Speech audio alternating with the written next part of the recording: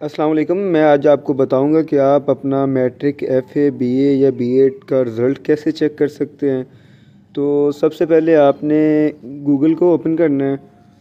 Google को open करके यहाँ पे ए आई ओ यू सर्च करना है। ए आई यू सर्च करने के बाद आपने रिज़ल्ट्स पे क्लिक करना है। रिज़ल्ट्स पे क्लिक करने के बाद आपने, अगर आप मैट्रिक एफ़ए वाले हैं तो ये result detail spring 2021 matric FA अगर बीए बीएड वाले हैं तो बीए बीएड के लिंक पे आपने क्लिक करना है।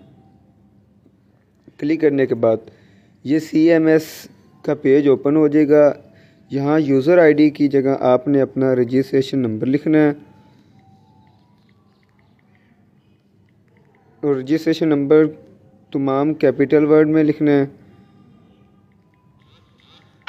उसके बाद आपने पासवर्ड लगाना। आपका पासवर्ड ये होगा कि आपके नाम के जो एंड वाले टू वर्ड्स कैपिटल और रजिस्ट्रेशन नंबर के एंड वाले चार वर्ड ये आपका पासवर्ड है। आपने पासवर्ड इंटर करके साइन इन कर देना है।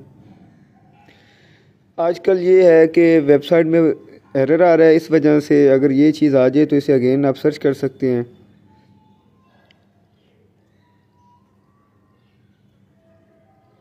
ये एक दो दफ़ा आप सर्च करेंगे तो ये लिंक ओपन हो जाएगा। इसके बाद एग्ज़ाम ग्रेड पे क्लिक करना है। और ये आगे आ गया माई ग्रेड माई ग्रेड पे क्लिक करना है।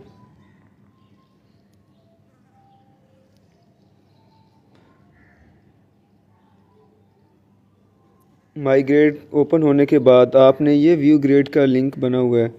इसे जूम करके व्यू ग्रेड पे आप क्लिक करेंगे तो ये ओपन हो जाएगा, ये देखें, ये रिज़ल्ट शो हो चुका है।